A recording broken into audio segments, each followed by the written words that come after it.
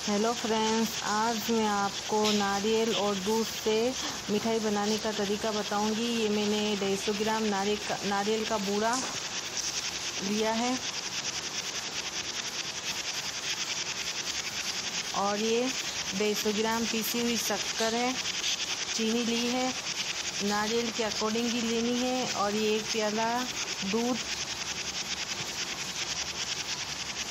और एक बड़ा चम्मच मिल्क पाउडर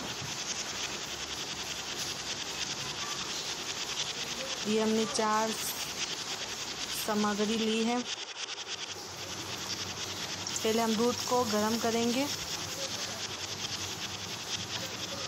ये हमारा दूध बॉईल हो रहा है। अब हम इसके अंदर शक्कर को ऐड कर देंगे। अच्छे से मिक्स कर लेंगे। हमें शक्कर घुलने तक इसको उबालना है।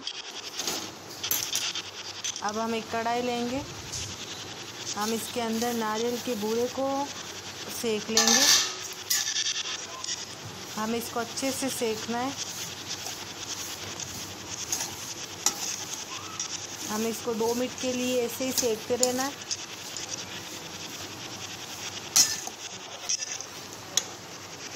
अब हम इसके अंदर मिल्क पाउडर ऐड कर देंगे।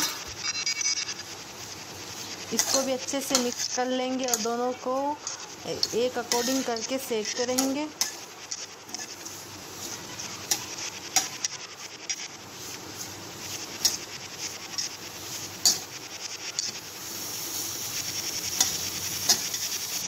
दोनों अच्छे से मिक्स हो गए हैं।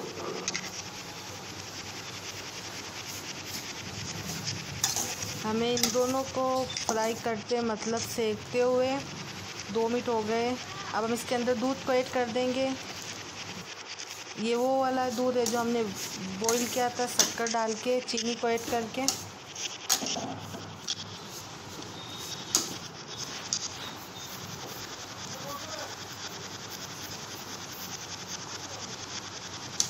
ये नारियल का बूरा इसमें ये भी ऐड कर देंगे ऊपर से।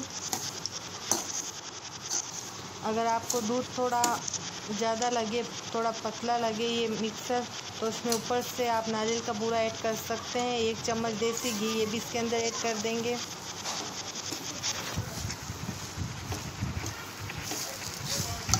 सबको अच्छे से मिक्स करेंगे।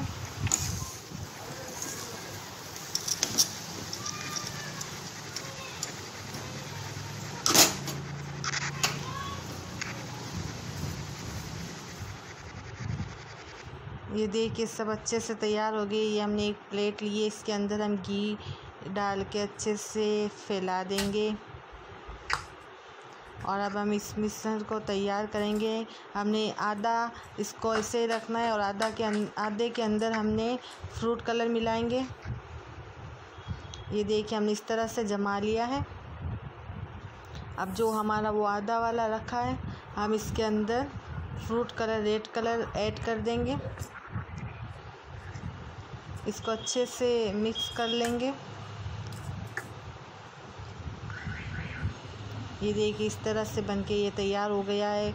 अब हम इसको क्या करेंगे? इसके ऊपर लगा देंगे, जिससे हमारी मिठाई दो कलर की हो जाएगी। दिखने में भी और खाने में भी एकदम स्वादिष्ट लगेगी। हमने इसके ऊपर चांदी का वर्क लगा दिया है।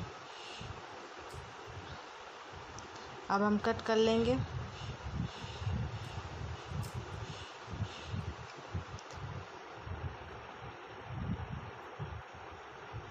बनाने में आसान और कुछ ही मिनटों में बन जाने वाली ये मिठाई है।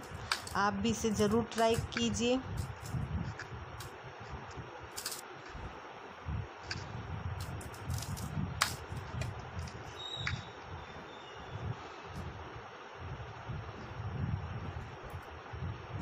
हम इस तरह से कट लगा लेना इन सब का। ये हमारी मिठाई बन गई है। अब हम इसको प्लेट में, ये देखिए हमारी मिठाई कितनी अच्छी सॉफ्ट बनी है। आप भी बने हमारे चैनल